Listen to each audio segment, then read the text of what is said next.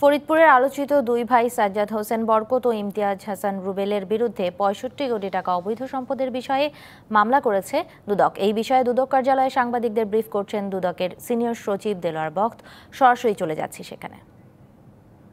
করতে পারবে। সেই তথ্য যেগুলো পেয়েছে, সেই তথ্য অনুযায়ী মামলা রুজু করেছে। এবং যদি তদন্তকালে আরও তথ্য পাওয়া যায়, যেটি জনশ্রুতি এসেছে, নিশ্চয়ই তদন্তকালে তদন্তকারী কর্মকর্তা সেগুলোও যাচাই বাছাই করবেন। যদি আরও জ্ঞাত বহির্ভূত সম্পদের সন্ধান পাওয়া যায় সেটিও তদন্তকালে অন্তর্ভুক্ত করা হবে।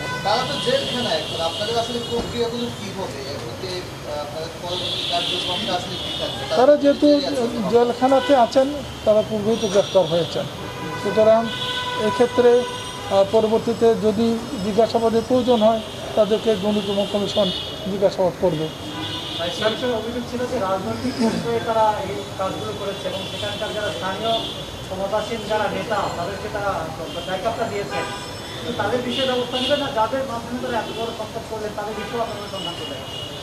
এটি দেখেন অনুসন্ধানকালে এই জ্ঞাত বৈধ সম্পদ যিনি অর্জন করেছেন এটি তো দায় তারই হ্যাঁ? এখানে তার বিরুদ্ধেই কিন্তু মূলত অনুসন্ধান হবে এবং এই জ্ঞাত আয়ের বহির্ভূত সম্পদ যেটি আমরা বলছি যে মানি লন্ডারিং করা হয়েছে বা মানি লন্ডারিং আইনে মামলা রুজু করা হয়েছে সেটি পরিবর্তন, রূপান্তর ইত্যাদি করতে গিয়ে কেউ যদি সহায়তা করে থাকেন এবং সেটি যদি প্রমাণিত হয়, তাহলে তাদের বিরুদ্ধে তদন্তকালী ব্যবস্থা নেওয়া হতে পারে। ফরিদপুরের স্থানীয় এমপি খন্দকার ওনার শব্দ ছায় থেকে ওনার আশ্রয় প্রশ্রয় এরা বেড়ে উঠছে এরকম অভিযোগ আছে? এইটি এমপির বিষয়ে কোনো খোঁজ এটি কিন্তু অনুসন্ধানকালে তাদের বিষয়ে যেহেতু অভিযোগ ছিল তাদেরটাই দেখা হয়েছে। অন্য কোনো বিষয় যদি অনুসন্ধানকালে প্রয়োজন হয় তাহলে অনুসন্ধানকারী কর্মকর্তা বা তদন্তকারী কর্মকর্তা চলতি অর্থ বছরের প্রথম প্রান্তিকে সাতাশি হাজার কোটি টাকা, লক্ষ্যের বিপরীতে রাজস্ব আহরণ হয়েছে ছেষট্টি হাজার পাঁচশো পঞ্চান্ন কোটি টাকা যা নির্ধারিত লক্ষ্যের চেয়ে প্রায় বিশ হাজার কোটি টাকা কম। সকালে রাজধানীর সেগুনবাগিচায় নিজ কার্যালয়ে আয়োজিত এক অনুষ্ঠানে এনবিআর চেয়ারম্যান আবু হেনা মোহাম্মদ রহমতুল্লাহ মুমিন এই তথ্য জানিয়েছে এনবিআর চেয়ারম্যান জানান, ত্রিশে নভেম্বরের মধ্যে কেউ আয়কর রিটার্ন জমা দিতে ব্যর্থ হলে সময় বাড়ানোর সুযোগ রাখা হয়েছে। আগামী বছর থেকে করদাতারা অনলাইনে রিটার্ন জমা দিতে পারবেন বলেও জানান তিনি।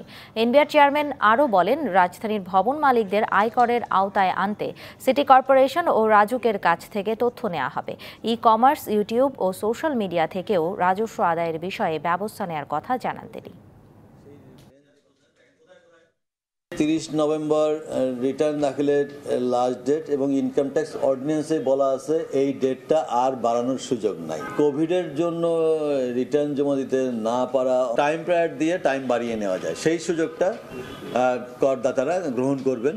ঢালাওভাবে আমরা আগে যেমন সেপ্টেম্বর থাকতো, আরেক আরেক মাস বাড়াই দিলাম, আরেক মাস বাড়াই দিলাম।